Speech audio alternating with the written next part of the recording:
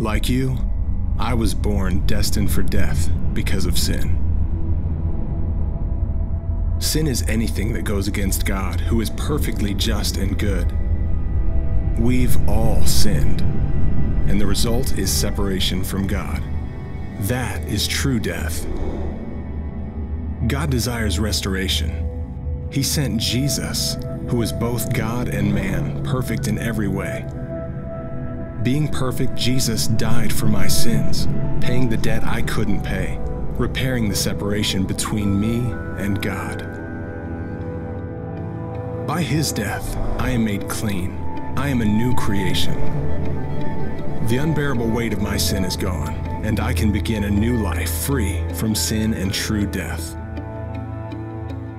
This is only the beginning. Because of who Jesus is and what he's done for me, I choose to follow him. My outward self is washed as a display of my inward faith. I eagerly give him my obedience, declaring this gift to the world. God refuses to leave me scarred by sin. His desire is for me to have the humility, kindness, and love of Jesus, to fight the temptation, pride, and laziness of my old self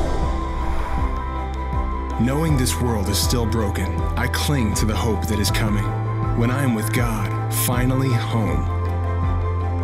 And this hope I have in a future with Jesus brings me great joy.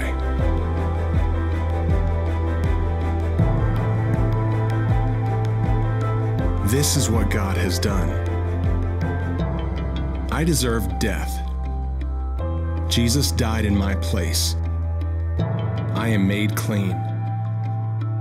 In obedience, I follow him.